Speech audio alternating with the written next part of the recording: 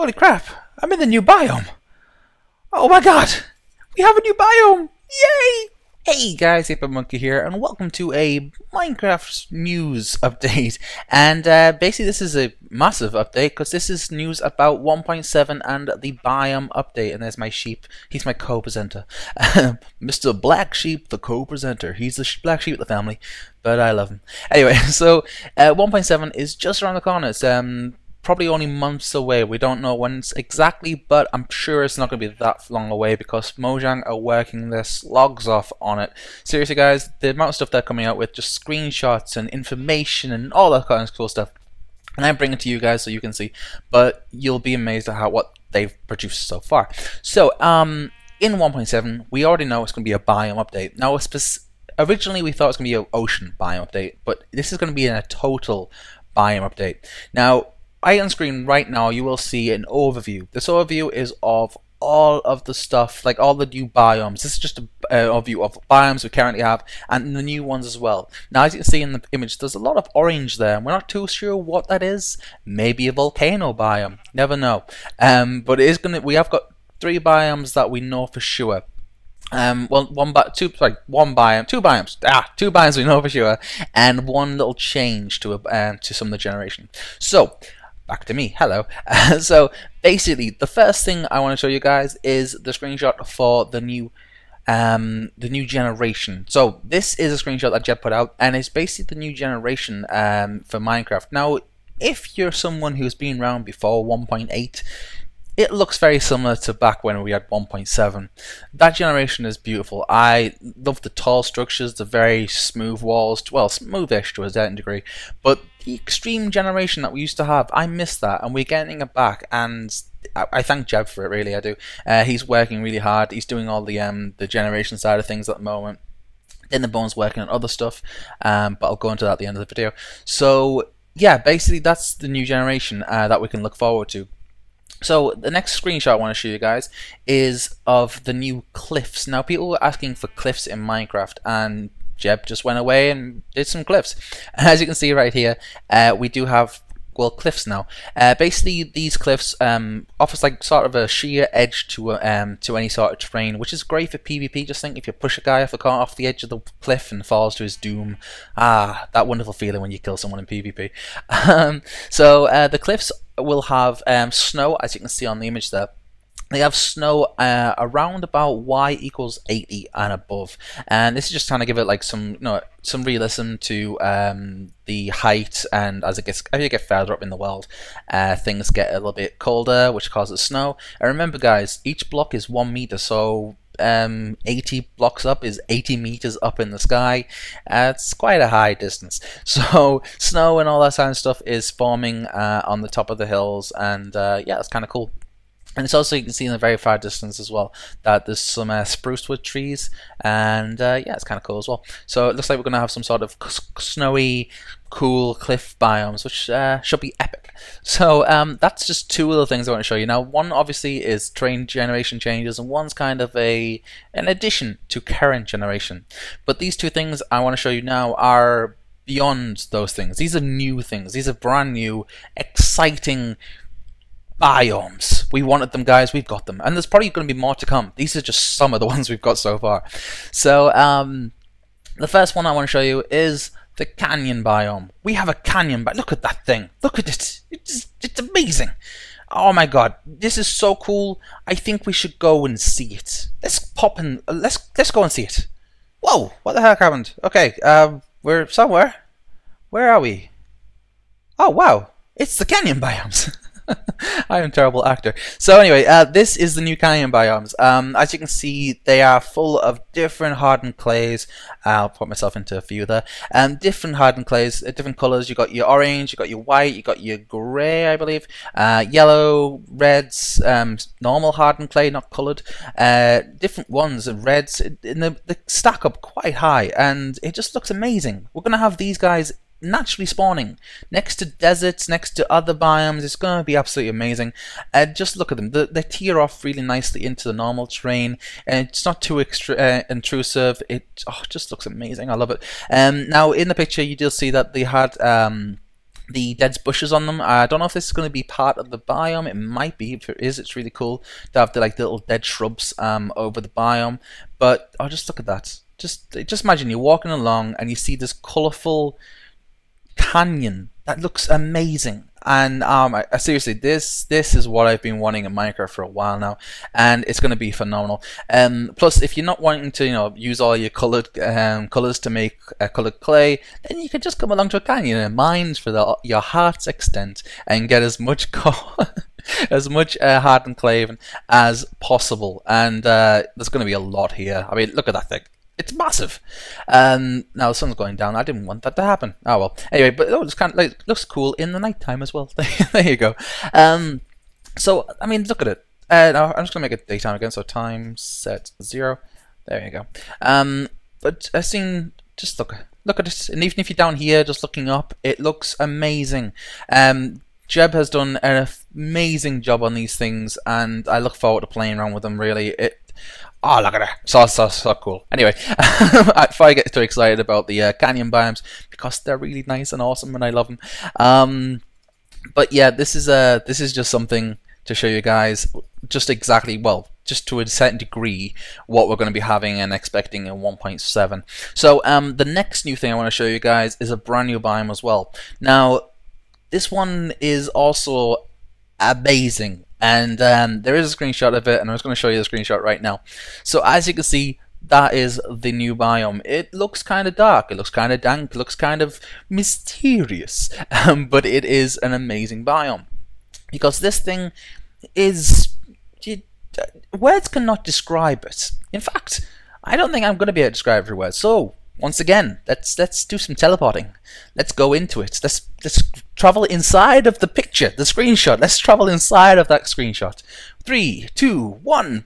Oh, okay. Oh, well, that was that was that was. I need to get a better teleporter. That thing's made me go queasy. Okay, so here we are inside of the screenshot, and this is the new biome, guys. Um, this is awesome. I I kid you not, right? This we have trees that are four blocks thick, like jungle trees, but these are spruce wood. Spruce wood trees that are four blocks thick. It's just awesome. I, I, I awesome. I seriously, I just, I'm, I'm gobsmacked by how cool this biome looks. So, um, basically, these we have new blocks. Right, I'm gonna go through it all for you. So we have new blocks. This is called Podzol. Uh, I did a bit of Google research and a bit of Wikipedia research, and Podzol means under ash in Russian. So you know you learned something there. Monkeycraft, the 8-bit monkey, is also an educational channel. Podzol, it means under ash in Russian. Anyway, so we have Podzol. Now, Podzol is the new block that we have in the game, and as you can see from this screenshot that Jeb tweeted out, um, it is called Podzol. Uh, that's how I know that's what it's called. Okay, so um, Podzol is a new block. It will not allow grass to grow on it. It is also classed as a dirt block rather than a grass block or anything. That's not like mycelium. It is a dirt block, okay? But it doesn't allow grass to grow on it. And we also have another block, which is this one, which is dirt block, okay? But you think, well, you already have dirt blocks. But this is a dirt block that doesn't allow anything to grow on it. So it looks like a standard dirt block, as, you know, standard dirt block as normal dirt blocks look. Um, but it will never allow grass to grow on it. And it is only available through the give command, the slash give command that you usually know, like the slash give thing, that one. It's only available through the slash give command, similar to how you get a command block, okay? So if you want to play around with that one, you'd have to do the slash give. It's not in your creative menu or in survival or anything like that. It has to be through uh, slash give. So it's um it's interesting. I don't know why it's like that, but uh, yeah, apparently that's how you get it, and uh, it's um, it's an interesting block. It doesn't allow uh, grass to grow on as I say, so it'd be kind of cool to see how people use that. So this biome, let me talk about this biome for a second. Okay, so in this biome, we have some randomly generated mossy cobble. Okay, I have no idea why it's there, and there's some up here as well. And I have no idea why we have the randomly generated mossy cobble, but I'm kind of glad we do. Um, this biome may have little ruins, I'm not sure. These little things right here are really cool though, just to see like mossy cobbles uh, growing, well not growing, but spawning naturally. Um, maybe, this is just a maybe, okay? This might be naturally spawning, okay? Or it may be that now when you put mossy cobble near water or in dank and cold and dirty places, it will cause normal uh, mosses to grow on it. I don't know this. I'm just guessing. This is all speculation. But nevertheless, it's kind of cool to see that we have mossy cobble just randomly dotted around in a new biome. Um, as I say, the biome also does offer spruce trees that are four blocks thick. See, one, I can't break. Uh, one, two. It's it's four blocks in thickness, and um, yeah, it's just I, I just love it. Uh, we're gonna have loads of spruce wood. You'll never need spruce wood again. Um, another thing is uh, you see that ferns grow in this biome, as well as, and this is the weird thing for me anyway, dead shrubs. Now, dead shrubs usually only spawn on um, deserts, and to see them there kind of makes me feel that this is kind of a, a dead um, or a swampy sort of area that is kind of I don't know. It's just it has that feel to it. Seeing dead plants kind of adds a different element to the um, to the biome that it just screams out awesome. it really does, and I absolutely love it. So as you can see, uh, you've got the grass growing as well. We've got some ferns. We've got um, lily pads. Uh, sand grows as well. Uh, sand spawns anyway. Mushrooms spawn underneath the trees um, and ferns, and it's just it's just awesome. I, I, I, really, guys, I just love this biome. Um, I'm going to be probably going to start a series in this biome at some point because it is a, such a good biome, and I do love it a lot. But yeah, this is a new biome that you guys will be getting in 1.7, and I imagine Jeb will be adding more stuff to it. And I imagine Jeb will also be adding new biomes alongside this one. Uh, it's just time will tell, and we'll all see how it goes. But for right now, just look at it. Just gaze upon the majesty that is this new and exciting biome. And I seriously, guys, it's just awesome. Um, it's going to be exciting to see how uh, everything turns out and how people utilize this new biome and all this new new blocks and ah, awesome. Anyway, so before I go, I did say there was some stuff that Jeb has been working, not Jeb, sorry, Dinnerbone has been working on. So let's just jump back into uh, standard everyday Minecraft 1.6 biome and uh, get away from this one because otherwise I'm just going to be looking around and having exciting fun with it. Oh, it looks awesome. It looks so cool. Alright, let's go back to a standard 1.6 biome. Ooh, a mushroom.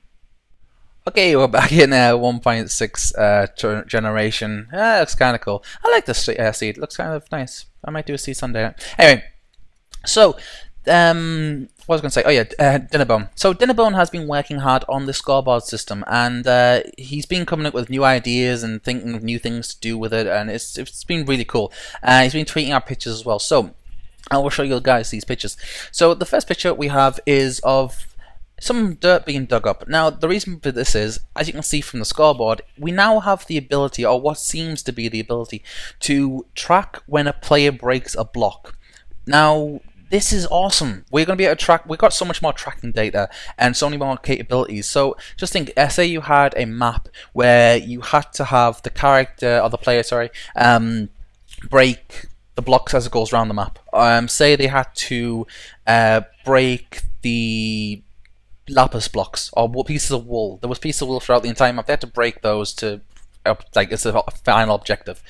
Now you can track that. You can track blue wool if you wanted to, and it's just awesome. Uh, we're gonna have so many options when it comes to map makers.